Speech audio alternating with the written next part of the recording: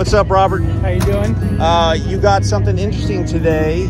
Uh, it's not the hot rod which you normally bring in. Uh, you got a Ford truck, and uh, uh, how did you end up with this one?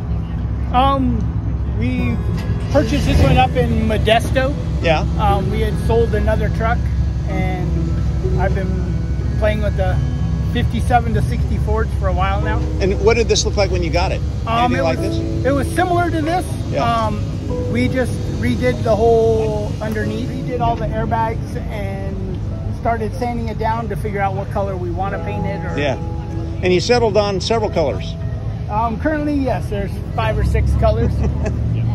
It's cool, but you know, you said that there's something unusual on the inside because, I mean, it's a Ford truck, but you were having trouble sourcing certain things, right? Um, yeah, we went. way, the, we uh, actually went with a second generation Camaro front clip yeah. and second generation Camaro rear end. Yeah.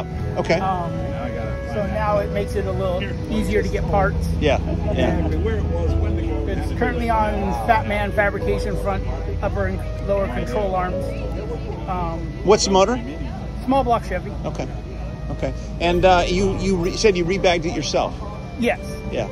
Okay. Um, it was curtain bagged when we picked it up, but it just didn't lay on the ground. yeah. Yeah. it's got to get down there. Let me take a look at this thing. Look at.